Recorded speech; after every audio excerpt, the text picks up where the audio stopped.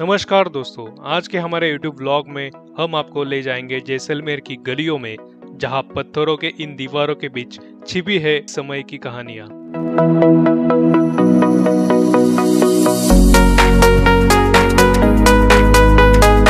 जैसलमेर किले के महलों में बसी है साहसी योद्धाओं की धरोहर और गड़ीसर लेक के तट पर खड़ी है अपार शांति की झलक। इस व्लॉग में हम इन स्थलों की खोज करेंगे, उनके रहस्यों को समझेंगे और जैसलमेर के रंग रूप को अपने नज़रिए से देखेंगे। तो आइए, शुरू करें इस सफ़र को और जानने की कोशिश करते हैं यहाँ के इतिहास को।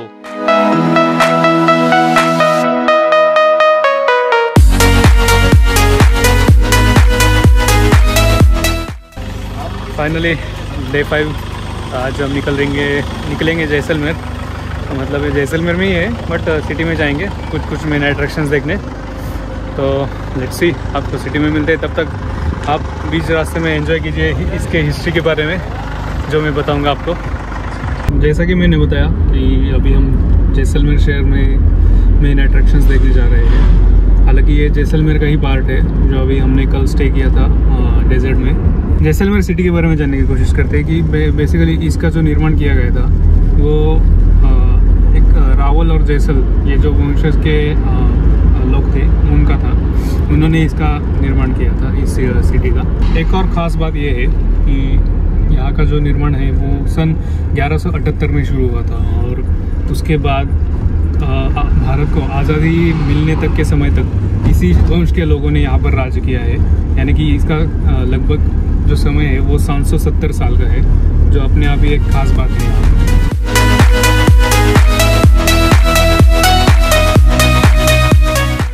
स्वागत है जी जैसलमेर के सबसे बड़े अट्रैक्शन में। इसका नाम है जैसलमेर का किला। और ये किला एक दूसरे नाम से भी जाना जाता है। इसे गोल्डन फोर्ट कर कहते हैं, या फिर सोने का किला बोल सकते हैं। वो क्यों बोलते हैं, मैं आपको आगे बताऊँगा।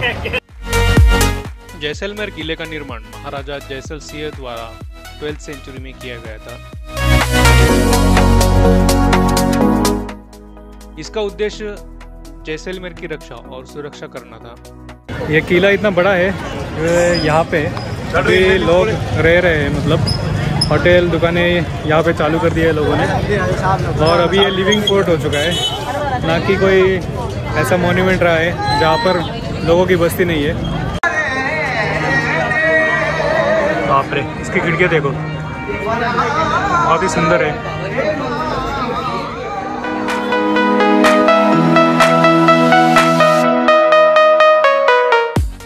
यह किला अपनी ऊंचाई और मजबूती के लिए प्रसिद्ध है और सालों से इसने न जाने कितने आक्रमणों का सामना किया है। अभी मैंने नोटिस किया कि जो मेरा टी शर्ट है, उसका कलर जो है वो ऑलमोस्ट मैच कर रहा है किले के कलर से।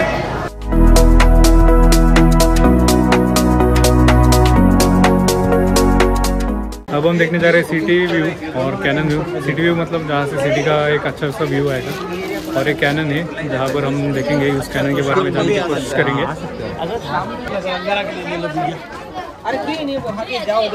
बहुत बहुत ज़्यादा भीड़ है। ये कैनन पॉइंट व्यू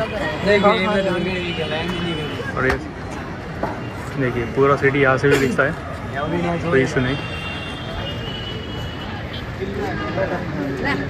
ये देखो, ये पुराना कैनन है यहाँ पे। वैसे तो कैनन पॉइंट व्यू से ही सब कुछ सिटी का व्यू दिख जाता है। तो मुझे ये ज़रूरी नहीं लगता कि सिटी के व्यू के लिए अलग से जाना चाहिए।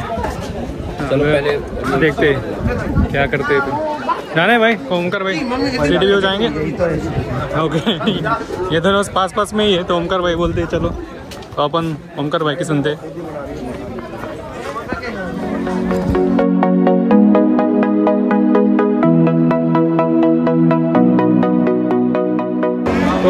यहाँ पर बेसिकली चार दरवाजे हैं किले के अंदर आने के लिए।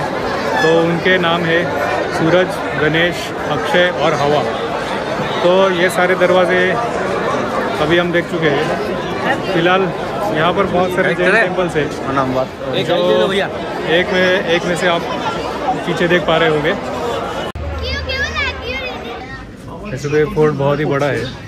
और इसे घूमने में कम से कम तीन चार घंटे तो लग ही जाएँगे, ऐसा लग रहा है मुझे, क्योंकि हम जैन टेंपल देखने आए थे, बट वो कहाँ पे पता नहीं। देखते अभी किसी से पूछते जैन टेंपल कहाँ पे तो यहाँ पर हमें एक स्पॉट मिल गया है, जहाँ पे अभी कोई भीड़ नहीं है, आप देख सकते हो। और ये कैनन मिल गई है यहाँ पर ज़बरदस्त।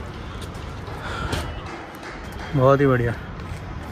ये है इसका असली स्वरूप। अरे, किले की तरफ़ आए आपको ऐसे चारों तरफ़ ये तटबंदी दिख जाएँगी। जो कि प्रोटेक्शन वॉल की तरह काम कर रहा है एक्चुअली प्रोटेक्शन वॉल ही है। तो यहाँ पर क्या करते थे, सैनिक लोग खड़े रहकर, अगर दुश्मन आता है सामने से तो उस पर तेल छिड़क कर या गर्म पानी डालकर उसे पीछे ढकेलते थे, ताकि किले का सुरक्षा कर सके। वैसे तो महाभारत का युद्ध खत्म होने के बाद यदुवंशी, यानी कि श्री कृष्ण भगवान जी के जो वंशज हैं, वो सभी भी यहाँ जैसलमेर में आके बस गए थे। एक ख़ास बात ये है, यहाँ की ये है कि इस किले को पत्थरों से नहीं बनाया गया है। आप देख सकते हो इसके इसका निर्माण जो है वो ईंटों से किया गया था। तो आप यहाँ पर देख सकते हो ये पूरी ईंट है ठीक है? और इसको जोड़ जोड़ के इस किले को बनाया गया था। राजस्थान में बहुत से किले हैं जो आ, पत्थरों से बनाए गए थे। मगर मगर ये उन किलों में से एक है जो पत्थरों से नहीं बल्कि ईंटों से बनाया गया है। कितना ब्यूटीफुल आर्किटेक्चर है। ऐसा हमें महाराष्ट्र के अजंता वेरोल में देखने को मिलता है। और ढूंढते ढूंढते हमें यहाँ के सबसे खूबसूरत जैन टेम्पल्स आखिर में मिल ही गए। जैसलमेर किले के अंदर स्थित जैन मंदिर का इतिहास बहुत ही महत्वपूर्ण और रोचक है। यह मंदिर जैन धर्म के प्रमुख धार्मिक स्थलों में से एक है और उसका निर्माण जैसलमेर किले की शुरुआती दिनों में हुआ था। जैसलमेर किले के शिल्पकला और वास्तुशास्त्र के विद्वानों ने इस मंदिर का निर्माण किया था। यह मंदिर उस समय के जैन श्रवण बेलगोला के आधार पर निर्मित है, जो जैन धर्म के महावीर तीर्थंकर आदिनाथ जी के नाम पर स्थापित किया गया है।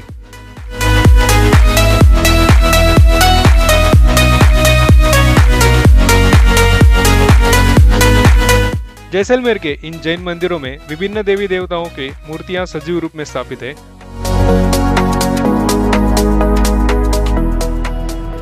तो बताया जाता है कि सन 1300 में यहाँ पर अलाउद्दीन खिलजी ने बहुत बड़ा घेरा डाला था इस किले को। तो बेसिकली उसने आक्रमण किया था। तो उसका सामना करते करते यहाँ पर आ, कई साल बीत गए और जो राजा थे यहाँ के उनका यहाँ पर आ, अंत में हार हो गई और अलाउद्दीन खिलजी के कंट्रोल के अंदर ये किला आ गया।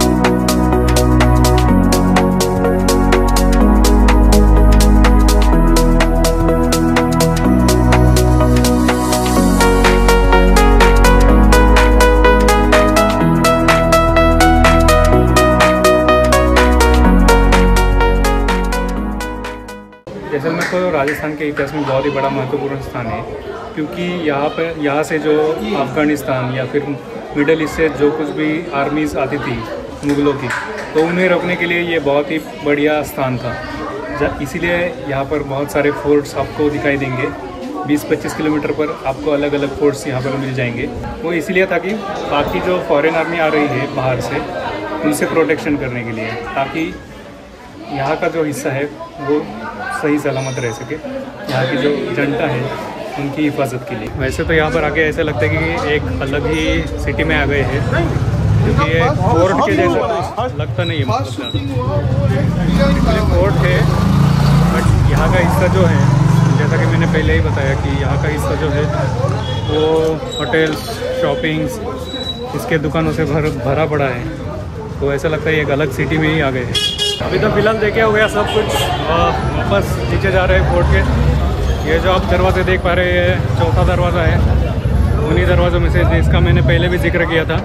और इस किले के लिए जिस पत्थर से दीवारें बनाई गई थी, वो पत्थर सिर्फ़ यहाँ जैसलमेर में ही मिलते हैं, और कहीं आपको राजस्थान में भी कहीं देखने को नहीं मिलेंगे। और दोपहर में एक शानदार होटल में चेक इन करने के बाद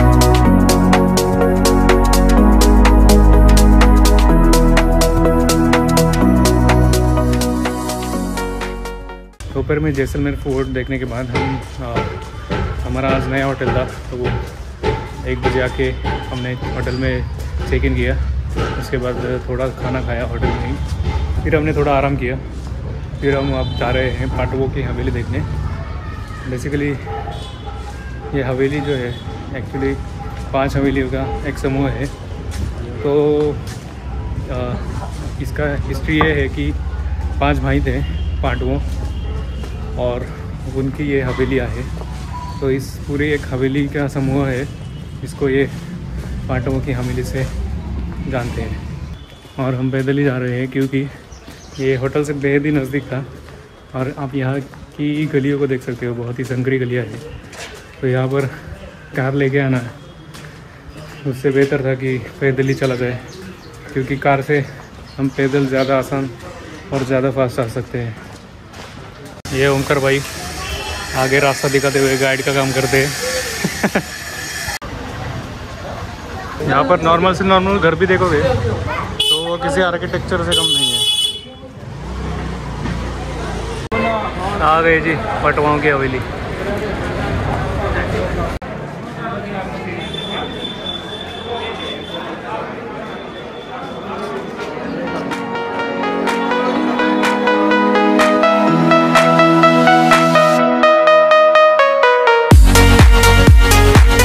पटवाओं की हवेली जैसलमेर का एक मेन अट्रैक्शन है, जिसका निर्माण सन 1805 में किया गया था और इस हवेली को बनाने में कम से कम पचपन साल लग गए थे।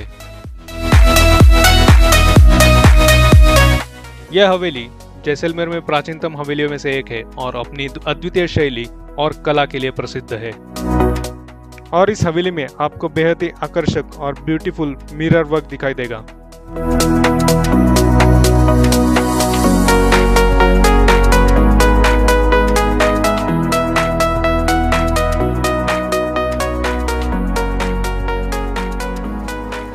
तो अभी अभी पटवाओं की हवेली से हम वापस जा रहे हैं होटल। हवेली तो बहुत अच्छी है मतलब स्ट्रक्चरली क्योंकि इसका डिज़ाइन बहुत यूनिक है और आपको ये कम ही देखने को मिलेगा शायद। बाकी तो आप वीडियो में देख चुके होंगे कि क्या क्या क्या चीज़ें यहाँ पे रखी हुई है। तो बेसिकली पतवाओं की जो हिस्ट्री है, उससे रिलेटेड ये चीज़ें है सभी कुछ। और बाकी तो मुझे एवरेज ही लगा, इतना कुछ मतलब इतना मैं इम्प्रेस नहीं हुआ उससे। आप चाहे तो देख सकते हैं, या फिर स्किप भी कर सकते हैं, कोई प्रॉब्लम नहीं। अगर आपको उनका इतिहास जानना है तो आप इंटरेस्टिंगली इसे ज़रूर देखना। तो अभी हम निकल रहे हैं लेक गढ़ीसर को देखने। तो इस लेक का निर्माण किया है रावल जैसल जी ने, जो यहाँ के पहले ही राजा थे, जिन्होंने ये जैसलमेर का शहर भी बसाया। और आप जानते भी हैं कि जैसलमेर का जो पूरा हिस्ट्री है, वो जुड़ा हुआ है रावल जैसल जी के नाम से। स्वागत है जी गढ़ीसर लेक पे। तो इस लेक का निर्माण इसलिए किया गया था क्योंकि राजस्थान जो है वो बहुत ही सूखा प्रदेश है और यहाँ का जो पानी है उसका जो समस्या है इसका निवारण करने के लिए ये लेक को बनाया गया था। क्योंकि राजस्थान में आप जानते ही है बारिश का जो प्रमाण होता है वो बहुत ही कम होता है। तो यही कारण था इस लेक का निर्माण करने का। और लेक गड़ीसर पर आपको एक बेहतरीन फाउंटेन शो दिखाई देगा। जिसमें आपको राजस्थान के जैसलमेर सिटी की पूरी हिस्ट्री बताई जाती है एज अ स्टोरी इस तरीके का शो मैंने इंडिया में पहली बार देखा है। अगर आपने भी ऐसा कुछ इंडिया में देखा है, इसके अलावा तो कमेंट में ज़रूर बताएँ।